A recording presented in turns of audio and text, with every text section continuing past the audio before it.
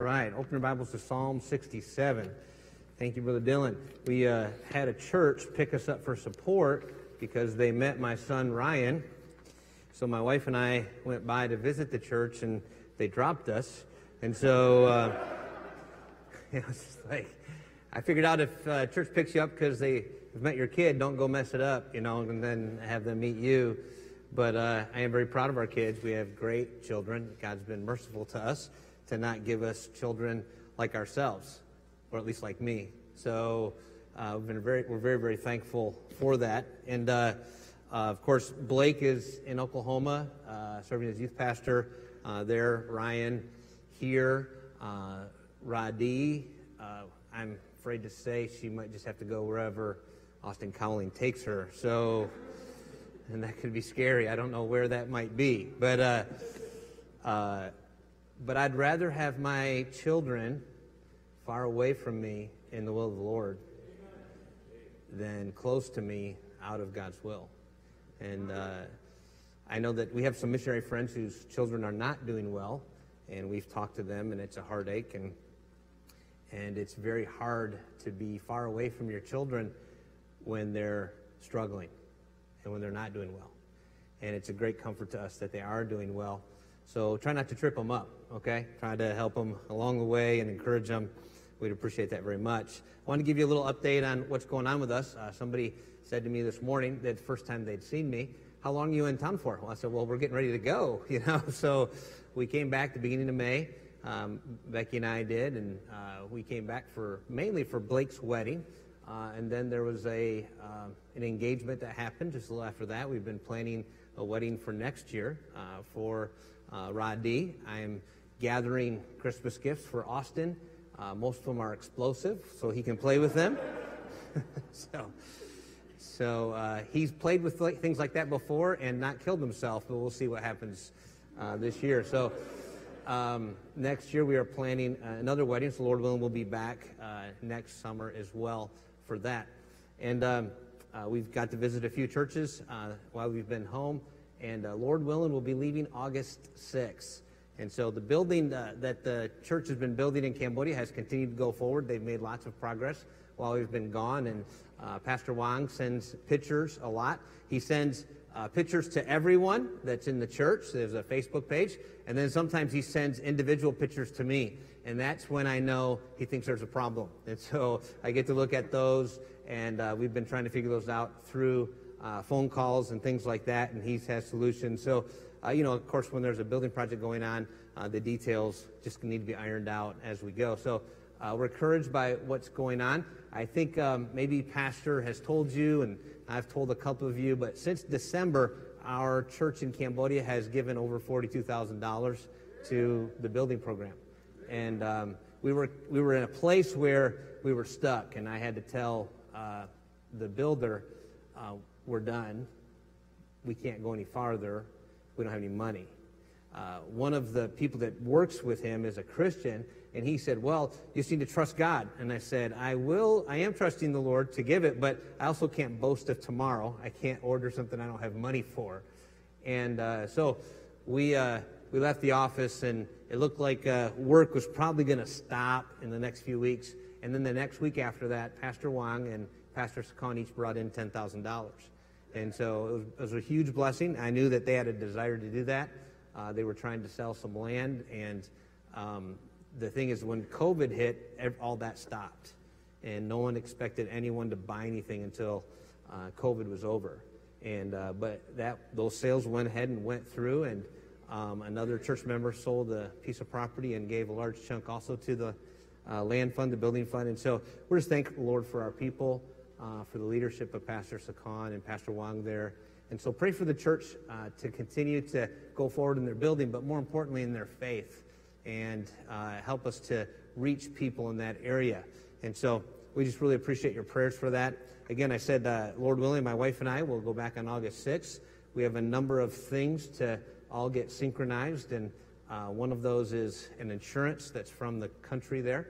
And uh, so we found out that um, they're not offering that until August 1st. So we were going to arrive about two hours before August 1st, and I decided to go ahead and wait so we can get that. But also our COVID test. We have to have a COVID test uh, within 72 hours of departure. And the problem is they tell you, well, it's three to 10 days to get results back. So we don't know when those results will come back. So we're going to take a shot at it this week on Thursday morning, try to get uh, COVID test results back at the right time. And if they don't, if they come too early, we'll have to do it again and uh, try again. And so uh, pray about that. Pray that we get, uh, pray that we don't have to get COVID tests like six or seven times trying to get that in the right uh, time period. But we'd like to do that just once. When we get to the country, we, we are taken to quarantine and they'll test us again. If anyone on the plane has COVID, then they'll quarantine us in government quarantine for 14 days, the whole plane load. And so after that, uh, we get another test on day 13 and we can get out. And so if we, no one on the, te- on the plane has COVID, then we can uh, go home and be quarantined there. The problem is we live at the church and there's not really uh, a good place to quarantine. So we're still trying to figure all that out. But pray for us as we go back. There's only about 200 cases of uh, COVID total in the country, so we haven't had a big problem there, but they're trying to prevent it. Psalm 67. Psalm 67. Uh, I was very happy that uh, Pastor Scott didn't mention that I was preaching tonight. At least I don't think he did, because I knew Brother Treadway would not be back. Only time he's heard me preach is at camp when I preach for two hours. And so, uh, Brother Treadway, I just want you to know I don't preach for two hours here. I only preach for one hour, and when I'm here at First Baptist, okay? I think there might have been a couple times I preached over an hour, but usually not. Usually not. So, Psalm 67, and you'll notice because there's very little laughter that I speak the truth. Okay, I speak the truth. In Psalm 67, we'll talk about that passage just a moment, but I want to set up some context. The context that I want to set up is basically the whole Bible. And, uh, you know, many times we think of missions as being something that uh, started in the New Testament and going into all the world to reach all nations and all countries. But God's purpose has always been from the very beginning to reach the whole world with the gospel. In the, in the beginning, you see in the book of beginnings in Genesis, when God called Abraham out, and the 11 chapters before Abraham give us the history of the world. Uh, evolution doesn't understand the history of the world, but, but this gave us the history of the world and helping us understand where languages came from and, you know, why uh, there are, uh, um, where, uh, how the world was created and, and different things like that. But in chapter 12, when God called Abraham, he blessed Abraham, told him he's going to have a child, and that child would become a nation. But that blessing upon Abraham was not only for him and his children or his seed. It was for all nations. As a matter of fact, when it said that by thee or by thy seed all nations shall be blessed, in Galatians, it helps us understand better exactly what God was telling Abraham. And in Galatians chapter uh, 3, verses 8 and 9, it says, And the scripture foreseeing that God would justify the heathen through faith, preached before the gospel unto Abraham, saying, In thee shall all nations be blessed. And then in verse 9 it says, So then they which shall they which be of faith are blessed with faithful Abraham. And so God preached the gospel to Abraham. From the very beginning, God had a plan and a purpose that he would take the gospel and his salvation was for all people.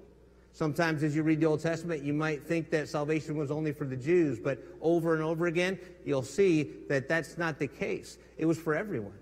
And here in uh, Revelations, all the way to the end of the Bible, in chapter 7, verse 9, this is right after the passage where uh, God's foretelling of the 12,000 of each tribe of Israel that will be witnesses in the end times. But then it says after that, outside of the 144,000 chosen witnesses of Israel, it says this. It says, After this I beheld, and lo, a great multitude which no man could number of all nations and kindreds and people and tongues stood before the throne and before the Lamb, clothed with white robes and palms in their hands, and cried with a loud voice, saying, Salvation to our God, which sitteth upon the throne and unto the Lamb.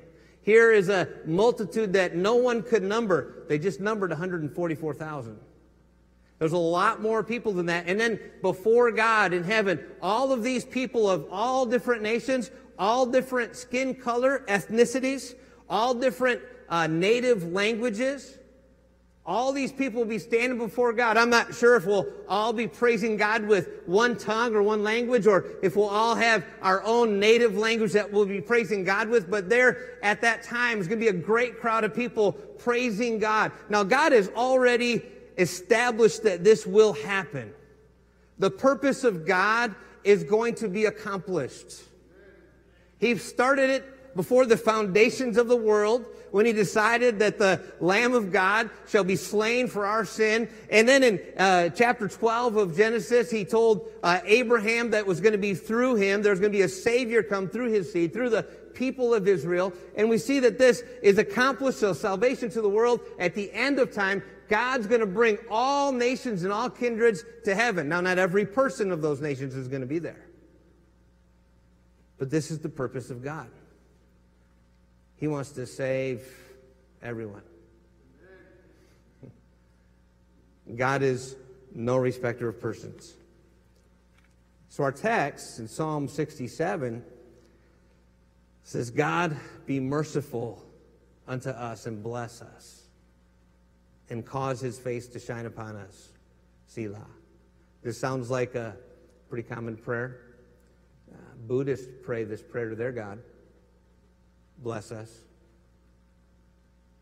I don't know how Muslims pray, but I'm sure they pray for God's blessing upon their life. It's pretty common for people to go to their own gods and ask their gods to bless them.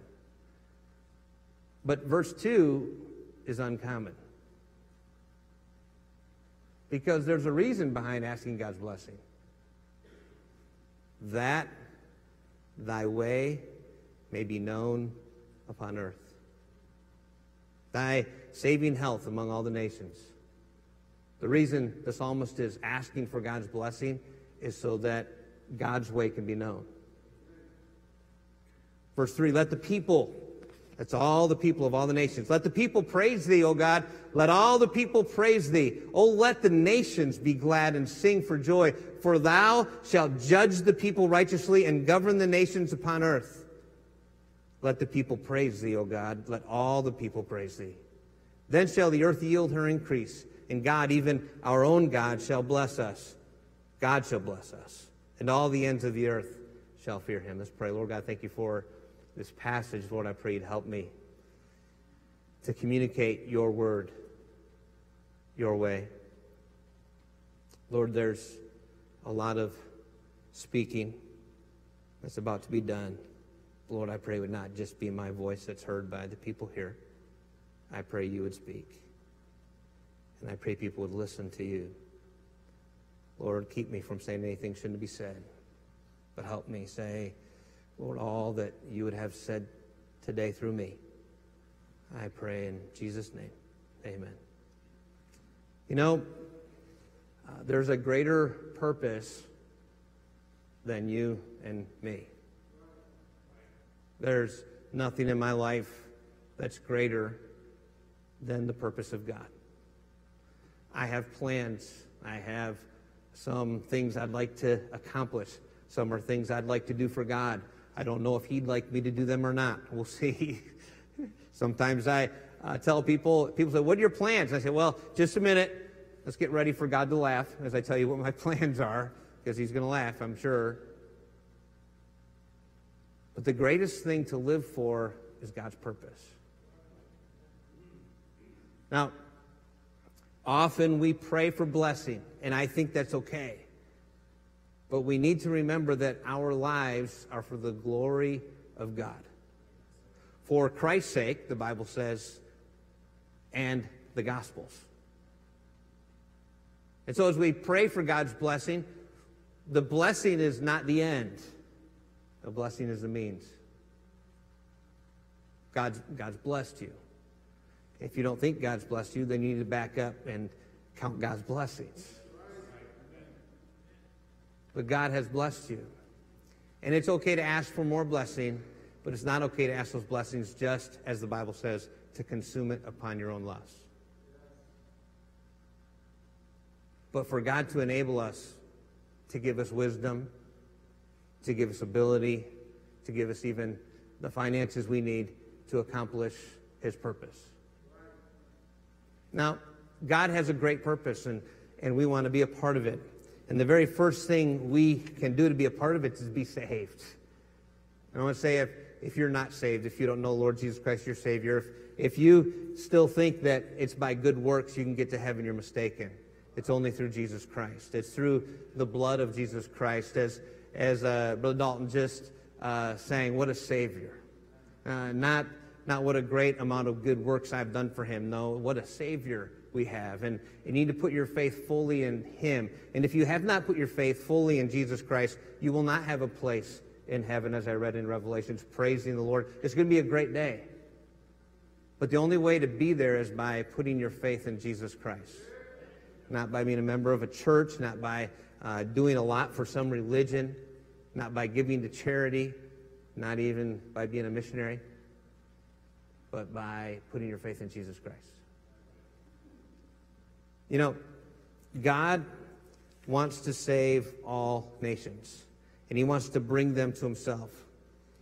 And as children of God, and uh, Brother Scott talked about that this morning, and what a great privilege it is to be His child.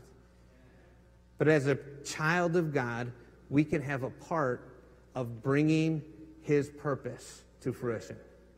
God desires to use you, and God desires to use me. As a matter of fact, I know, I feel like a little bit like I'm preaching to the choir because God has already used you so much. It was through this church I got saved. It was through the people in this church that I was encouraged to continue coming to church. I was surprised. I remember as a young boy and uh, people coming to say, Man, glad you came back to church this week. I'm like, Oh, you remembered I was here last week? Yeah, you got saved last week. Praise the Lord, you came back this week. I remember people just encouraging me. I remember sitting in Sunday school classes. I remember my Sunday school teacher one time saying, Boys, if you don't do what God has for you to do, there will be cities without churches. There will be countries without the gospel.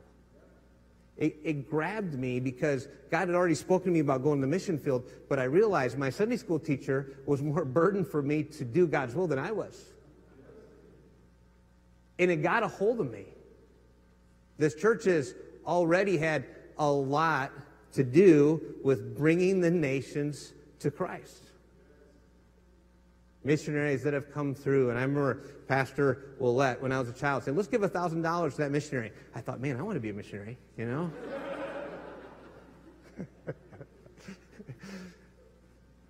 now, I was, uh, I just remember all the gifts and the money and sacrifice and testimonies during stewardship time of what people gave, and I was amazed. This church has already had an incredible influence on people coming to Christ. But I want to encourage you. I know there's some people here that maybe uh, are newly saved. There might be some people here who uh, have t- taken a step back from what you were doing to helping accomplish God's purpose. There may be some people here who've gotten kind of in a rut. Maybe somebody here that God's been talking to you and he wants to speak to you some more. There may be somebody here who's kind of gone cold. You know, there's three things I want to talk to you about that you need to do, we need to do to help and be a part of accomplishing God's purpose. And we're going to, uh, first of all, it's going to be we have to love who God loves. Um, seems to be a lot of hate in our country right now. Uh, people in Cambodia don't understand uh, what they see on the news. I don't either. Uh, sometimes, of course, the news is, tries to slant things. And however, there is a lot of hatred. The, the Bible says that God so loved the world. Well, we've already established that throughout the whole Bible. It's always been God's purpose to save the nations. That heaven become the home of nations. That there be people of every tongue, every language, every, every skin color there praising him. That's his purpose. And sometimes people allow skin color to get in the way. Sometimes we allow, um, you know, things that have happened to us personally. I remember there was a, uh, my wife and I were counseling a young lady. This was early on, probably 2000, 2001. And I knew she was struggling with some things, so my wife and I sat down and talked to her. She was probably 19, 20 years old. And uh, I started to talk to her a little bit, and she said, All men are wicked. I'm like, Okay. Something's wrong. All men are wicked. And I said to her, I am a man. And she turned and looked at me with a scowl, and I said, She said, I know. It's like, okay. I turned to my wife and said, I think I'm done here. I think I'm in the way right now. My wife kind of nodded her head. I left. The young girl had been through some terrible things that caused her to hate men. Now, she had reason to be bitter. Humanly speaking, she had reason for hatred. People, the men very close to her in her life, had, had pretty much all of them that I know of, had done terribly wrong. But God wants us to love all people. And sometimes there's things that happen to us when we're young. Sometimes there's things that happen to us in our life. The exposure we have to different, maybe ethnic groups in the world that cause us some prejudice and some bias. In Cambodia, you know, we got there in 1996 and we didn't really understand the makeup of the country and the demographics and everything, but we'd run into Vietnamese people sometimes and they would speak Khmer and we could talk to them and we found out that some of them were born in Cambodia and had already lived through the Khmer Rouge and somehow made it through without the Khmer Rouge finding out they're Vietnamese because the Khmer Rouge killed all the Vietnamese that they found. And we knew there was some of that, but in 1998 there was a riot. There was a protest, and it was an anti Vietnamese riot. They burned tires around the uh, Friendship Monument, which is friendship between the Cambodian and the Vietnamese government. And there was a riot throughout the city. And basically, if you were Vietnamese, you were in big trouble. Many Vietnamese were beaten up, some were killed. It was a terrible time. And I remember speaking to our church back then, just a baby church, brand new Christians, and telling them that God is not pleased for us to hate Vietnamese people. I was informed by many different people that I didn't understand the history between Cambodia and Vietnam, and that the Vietnamese had done terrible things to the Cambodian people, and I, I didn't know what I was talking about. And I had to confess, I really didn't have a clue. But I did know this God commands us to love everybody. so, I mean, I know history, but I knew the Bible. 2003. Um, I think Ryan and the kids may remember this one a little more. 1998, Ryan was only two years old, but in 2003, there was another riot. This time, a Thai actress had said something stupid, and just in case you didn't know that actresses in Thailand say things stupid too, just like the actresses in America, okay? So, an, an actress in Thailand said something really stupid about a monument in Cambodia should have actually belonged to Thailand. And people just went crazy. And they started rioting. And uh, I remember being on the streets one time, a bunch of motorcycles drove up to a, a shop I was at, and they, all this big group of men just came in and they started tearing down posters, anything that had any Thai actors or actresses or models on them, anything that was a Thai brand, they're tearing all these advertisements down. I was like, man, these people are kind of mad. And I'm translating from from Khmer, Ryan Chikuit, I think mad, right? Like rabid dogs. And uh, about two days later, we're standing on our balcony and we can see fires throughout the city. These are big fires. We could see the flames going up over top of other buildings in numerous places in the city. And my wife and I are very careful people. We're very safety conscious. So we decided to get into our very small car, it was like a Chevette, and go see what was going on.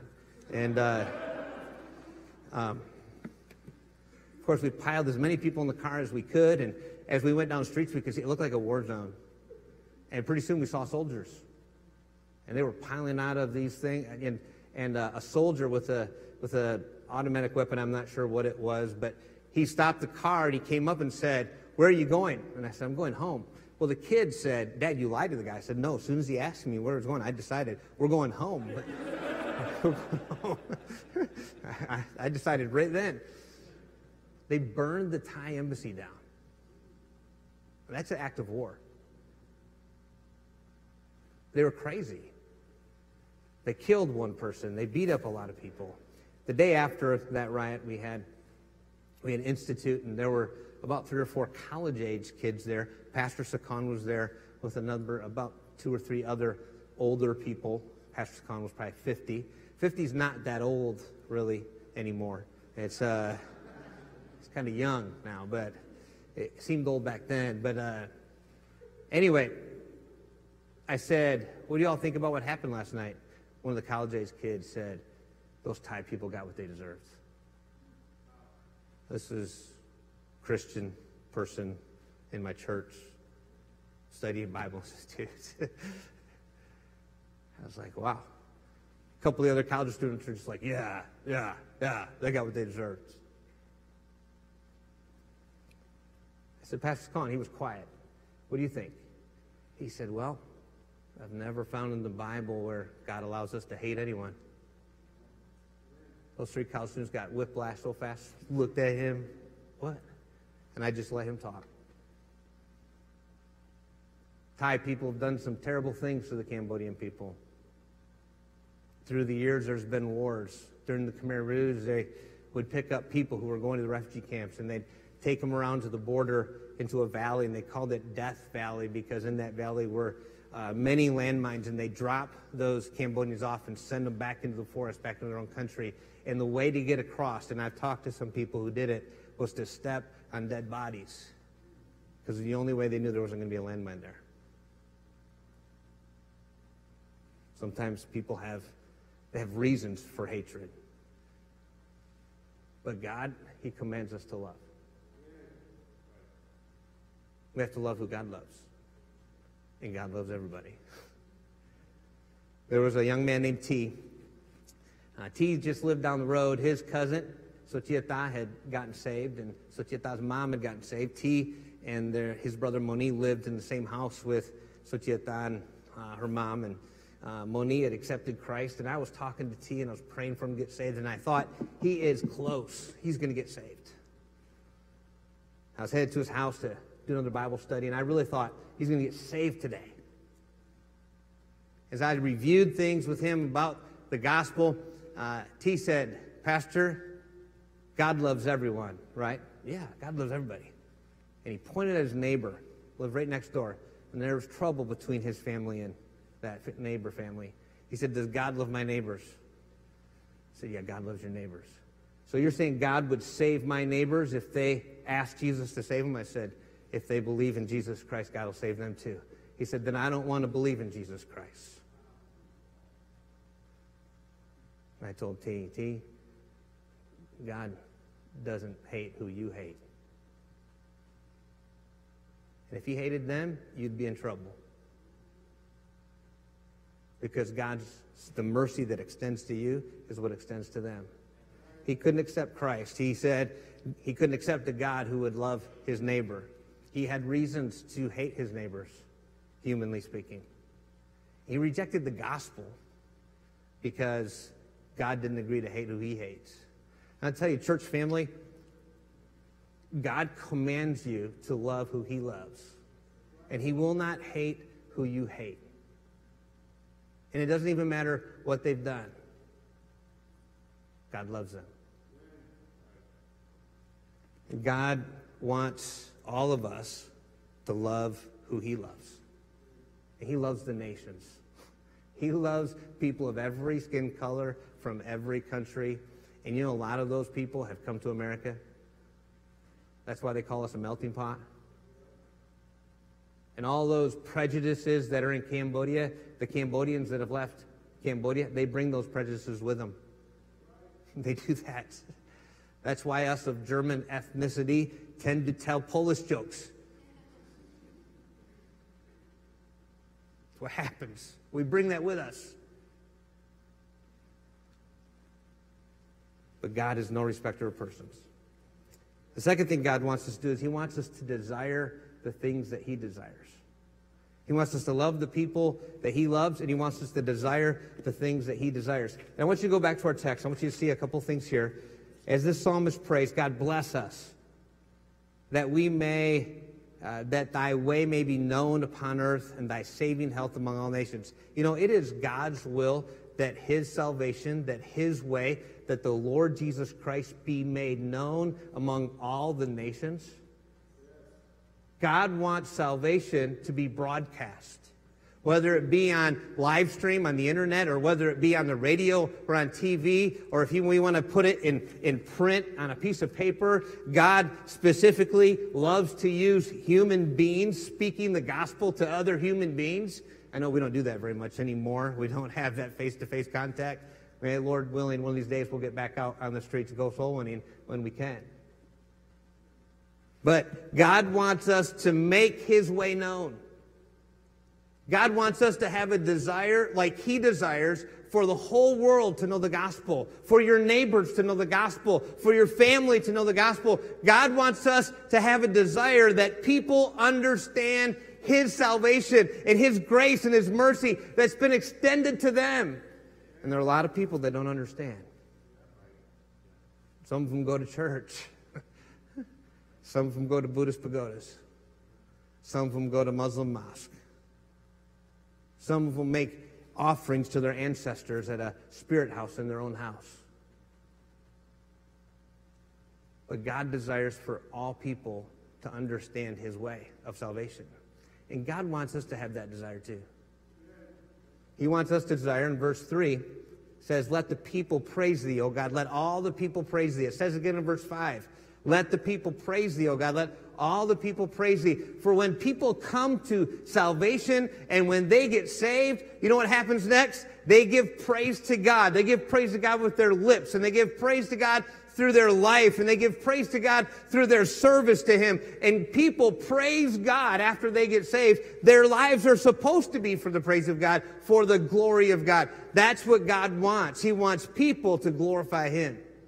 First, to know salvation, and second, to give praise to His name. I desire to see people in Cambodia not just get saved, but to praise our God, to bring glory to Him. It's, uh, it's fun to hear stories in Cambodia when our people are living a consecrated life and following the Bible, and people come ask them, "What are? Why are you so different?" Well, I'm a Christian. But why do your kids obey? How do you do that? One guy said to me one time about Ryan, I don't have this anymore, but he said, it looked like you had a remote, and when you told Ryan to be quiet, boom, he would just be quiet. I lost that remote. It's no longer there. If someone finds it, please let me know. Okay? Caitlin wants it, I think. Ryan would go out soul winning with me, and I just tell him, sit still and be quiet. And he, he would. I know it's hard to believe, but yeah, he would and my people would start to live for the God and train up their children, and people would say, How come your kids don't stay out late at night? How come they're not going to parties? What's going on with your kids? How do you do that? And through their lives, through their families, they bring praise to God. God wants us to have a desire that people get saved and that their lives bring praise and glory to our God. Pastor Howell preached last month about the mission of this church. Number one, to save souls, to convert people to faith in Jesus Christ. And number two, to transform lives. As people are saved, their lives will be transformed and their lives will bring glory to God. And number three, I believe he said to reach the whole world. Reaching the whole world is what? Getting people saved and having their lives transformed as well. Verse 4, you see in our text, Psalm 67. Oh, let the nations be glad and sing for joy, for thou shalt judge the people righteously and govern the nations upon the earth. You know, God really does desire for people to be full of joy. Sometimes when maybe we're in a trade war or maybe we're in actual physical war and there's battles, sometimes uh, we allow ourselves to start to hinder some bitterness and hatred towards certain groups of people, countries.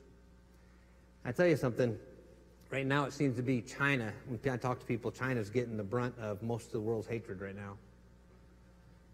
Not to say they don't deserve it, humanly speaking.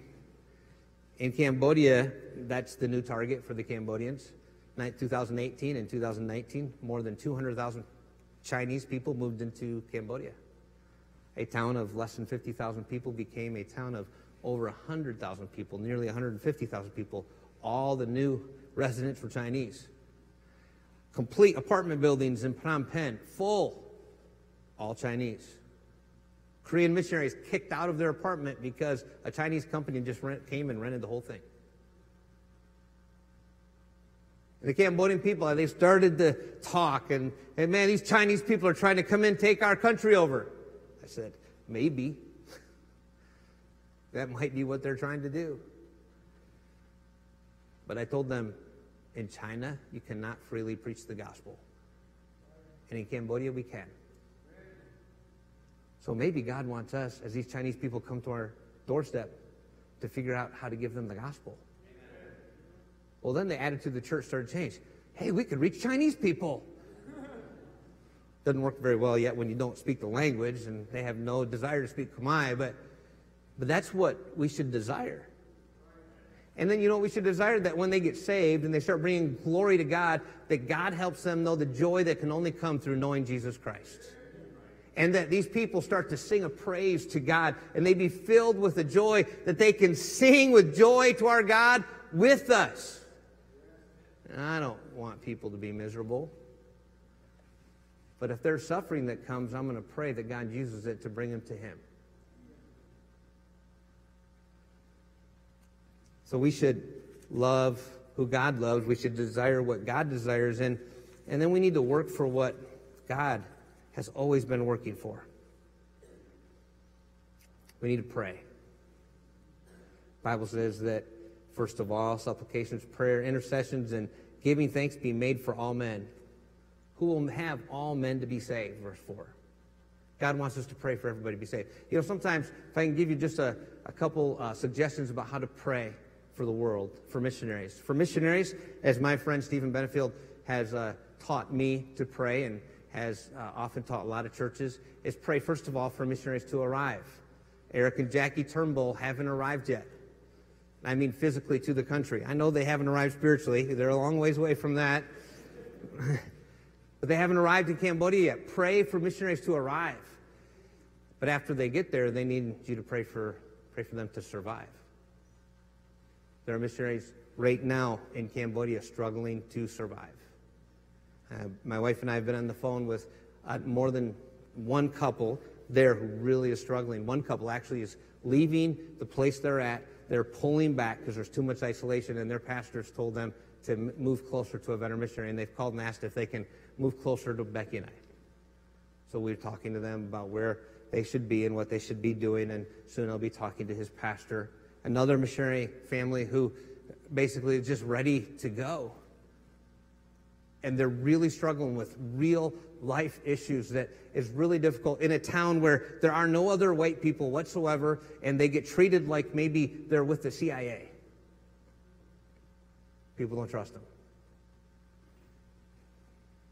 Pray for missionaries to survive. Pray for missionaries to thrive. Because we're not going there just to survive. we're going there for the gospel's sake. Pray that we get past that survival mode and we can start telling people about Christ and people getting saved.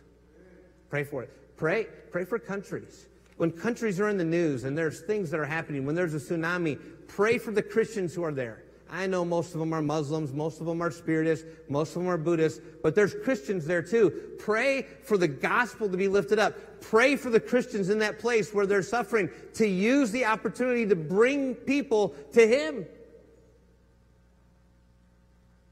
Pray for the nations, generally speaking. Pray for people to be saved. If God brings Iran to your mind, pray for Iranians to come to Christ. Well, how's that going to happen? I don't know. But God's a whole lot bigger than we are. Yeah. He can do things that you and I can't. But God commands us to pray. We want to be a part of this work. I believe there's going to be people that are saved and in heaven because of the prayers of church members here and other churches who've prayed for missionaries and who've prayed for countries and prayed for people to be saved. And we're going to get to heaven. You can say, This guy, you prayed for him. You didn't know his name. You didn't know where he lived. You didn't know his address, but you prayed for him. Pray.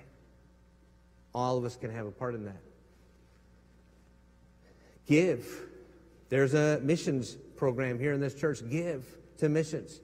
The Bible says, and Paul said to them about missions giving, not because I desire a gift, but I desire fruit that may abound to your account. You see, God's going to accomplish this purpose. When um, we've had a couple things happen in Cambodia, and, and uh, I told uh, Pastor Sakan it looked like, you know, uh, with COVID and everything, we probably weren't going to get very much help from America. Pastor Sakan said more than once, uh, God does not need America. Uh, God doesn't need America to give us a building. There was a missionary, and there's some missionaries who are a little bit confused on this. And one missionary friend of mine, he he said, You know, God's not going to punish America because of how much America gives to missions. I said, I think you're a little confused here. This isn't an insurance policy. And, and maybe, maybe God's going to take America out and continue to do missions work just to show that He can. He can do that too. Don't worry, I'm not praying for God to judge America. I'm not praying anything like that. I pray it comes after we're gone, after the rapture. That's what I, desire. But God's will be done. But we, when we give, we get to be a part of God's purpose. We give our fishes and our loaves to God, and He multiplies them. God does things that we could never know. And again, God gives fruit to our account in heaven. I have no idea what that accounting book looks like, but it has to be really complicated. I think God's the only one who can keep that account. But God does. And when you give, for to First Baptist Church. You enable Pastor Howell and the staff here to be able to do the work of God. They're not bound by, by not enough money to go out and print what they need to print and televise what they need to televise and get things on the internet like they need to. And they're not bound by that. When you give, you enable the church here to go out and reach more people. When you give to missionaries, you enable them to get to the get to the field sooner. You enable them to survive. You enable them to do things that they can thrive on the mission field. And God knows what you give, and God knows uh, what it's about. He He sees the widow who gives a mite or two mites, and God uh, takes that and counts that she gave more than the people who gave all these riches. God's accounting system is very complicated, but He knows where you're at. And all you have to do is obey Him. All you have to do is give what he tells you to give. And you get to be a part of this great purpose. Lord, bless us that thy way may be known upon the earth. And we need to go. You know, go ye therefore and teach all nations, every ethnic group. I'm so glad that I got saved and have been a part of a church since my salvation that has welcomed people of every color. I wish I could say that every church I visited through my endeavors as a missionary was like that. But it's not. There are a few churches that are more, you could say, like ours. But there's a lot more that are not. May, may that never be the case about First Baptist Church of Bridgeport. But we need to go and tell people about Christ. And there's one more thing here we need to prioritize. The priority is not the blessing. The priority is what we're going to do with the blessing, and that's further God's work and further his purpose. Um, for whosoever will save his life shall lose it, but whosoever shall lose his life for my sake in the Gospels, the same shall save it. Sometimes we put conditions on God. Lord, let my kids serve you as long as. I'm thankful for uh, missionaries that have been sent out of this church. Uh, Becky and I were, as far as I know, the first missionaries sent from this church. And then, uh, of course, Patty Mitchell, and of course, John Summer made her change her name. And I'm sorry about that, brother. I'm starting to understand the hurt now because next year, you know, my daughter has to change her name. So, but uh, Patty and John Summer from our church, Rebecca Chernick, you know, Hannah Evans' sister, in Spain now and grown up here. Rebecca Nada, who's in Japan, and I can never remember if her husband's James Scott or Scott James. You know, you have two first names. in Japan, she influenced and, and gr- growing up here in Sunday schools and school and influenced by you, sent out. Turnbull's, Beth Turnbull's sister. I can't remember her first name, but she's in Madagascar now. We have people that have grown up and, and left here and gone places, and there's more than a couple. James Zenker, I'm not sure if he was ever from here. I don't know if we ever owned him. Brother Aaron, we were always afraid to own Brother James Zenker, but he was in England for quite a while. But it's, it's not enough. And I can't help but to believe, and a few weeks ago, forgive me, there were just a whole smattering of children. And the first thing I thought was, wow, we have so many young children who are responding to God in tender and coming to the altar. The Lord work in their hearts and call some of them to be missionaries.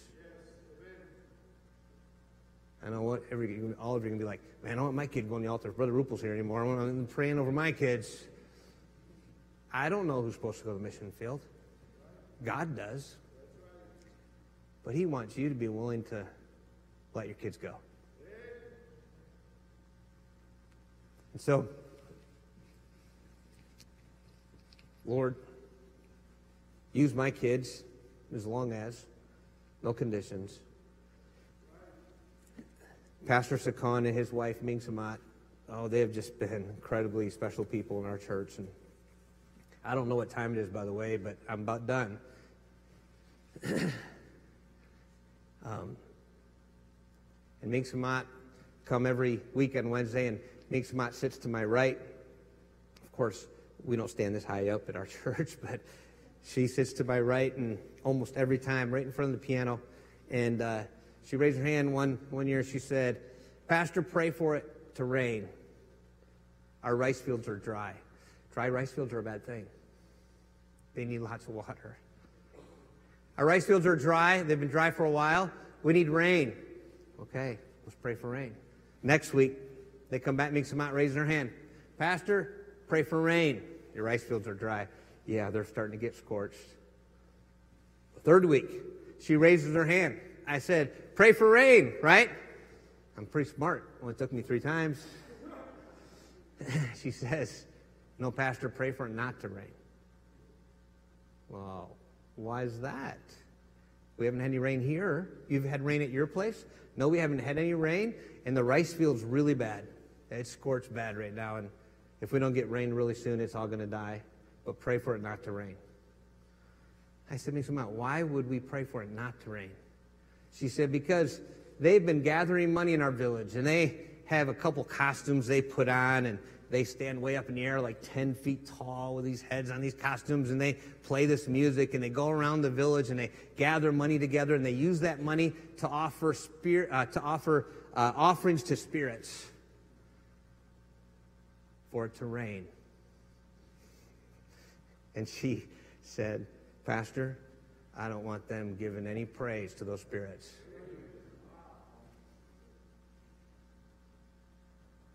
Pray for it not to rain. I said, think about your rice fields are going to die. All your rice is going to die. She said, let it die. But let people not give praise to those spirits. They're false gods. You know, sometimes, maybe, God is glorified through us not being blessed. Sometimes God's glorified us having some trouble. And the only thing we could pray about is for God to take away the trouble. And we forget his purpose of saving the nations and bringing them to praise God, bringing true joy to their life, whether they have all the modern amenities or not. Because our prayer is not just for God's blessing, our prayer is for God to be glorified, for his purpose to be accomplished. I've said this already. I feel like I'm preaching to the choir. And I know that this church has been used so much already for world missions. But don't lose sight of what's really important. Don't lose sight of how God can use you as a church, wholly together. And don't lose sight of how God can use you individually. God wants to accomplish his purpose, and he wants you to be a part of it. Let's pray. Lord, thank you for thank you for your word. Lord, I thank you for your grace. I thank you for your mercy upon us for saving us. I thank you for allowing us to be used. I thank you for allowing us to be a part of a, a greater purpose, Lord. Something greater than anything this world offers. Thank you, Lord. I thank you for this church. Thank you for Pastor Willette for Pastor Howell, who've led this church to accomplish your purpose. I pray you'd help this church to continue forward, continue to accomplish the purpose you have for them, reaching this city, this state, this country, and this world. We'll work in our hearts, show us what you'd have us do. We need your help. And the heads bowed and eyes closed. If the Lord has touched your heart and spoken to you about something and you'd like me to pray for you, if you just raise your hand and I'll pray for you. God bless you. Thank you. Thank you. Thank you. If you don't know today, if you died, you'd go to heaven, you're unsure. The Bible is very clear about how you can know for sure you're on your way to heaven. And if you don't know for sure you're on your way to heaven, I'd like to pray for you. Is there anybody like that who doesn't know for sure if you die today, you'd go to heaven? Just raise your hand. Anybody in this room? Anybody watching on live stream? If, if you have questions about that, send a text. Call the number that you see on the screen there. The greatest thing you can know is that you're on your way to heaven. Lord, I pray that you would help these who've raised their hands. I pray you'd work in our lives, help us to do more to accomplish your purpose. We do need your help. I pray you'd help us in Jesus' name. Would you stand? You stand? And if, as the piano plays, if God's spoken to you, or if there's something you need to talk to God about, you come, talk to Him, pray, surrender, pray for a country.